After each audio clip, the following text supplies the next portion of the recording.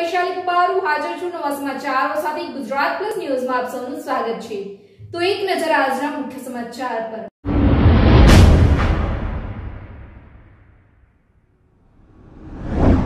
નમસ્કાર, આપની સાથે ગુજરાત પ્લસ ન્યૂઝ સાથે હું છું ઇમ્તિયાઝ ગઝન હવે વાત કરીએ આજના સમાચારોની તો વેરાવરમાં પરિવર્તન માટે સદાય પ્રયત્નશીલ રહેતા એવા આમ આદમી પાર્ટીના ગુજરાત ઉપપ્રમુખ શ્રી જગમલભાઈ વાળા દ્વારા પ્રેસ કોન્ફરન્સમાં જણાવ્યું કે ભાજપ સરકાર દ્વારા આયુષ્માન કાર્ડના કરોડો રૂપિયાના બિલ રોકી દેવામાં આવ્યા છે, જેથી આયુષ્માન કાર્ડમાં ઓપરેશનની સુવિધા બંધ કરી છે, જેથી નાના માણસો હાલ મુશ્કેલીઓ ભોગવી રહ્યા છે અને ભારે મુશ્કેલીનો સામનો કરવો પડતો હોય છે.